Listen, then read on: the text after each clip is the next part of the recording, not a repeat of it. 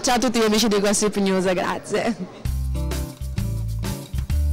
La conduttrice Veronica Maia aspetta il suo secondo figlio e sta vivendo la gravidanza con grande solarità. Come stai? Beh, Benone è incinta.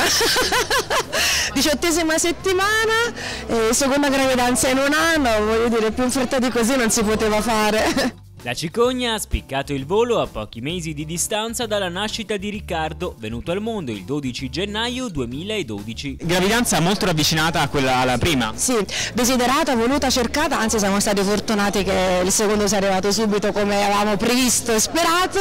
E un altro maschio, quindi sarò la regina della casa. Veronica e il compagno, il chirurgo plastico Marco Moraci, hanno già scelto come chiamare il nascituro. Nomi? Uh, pole position, un nome di origine.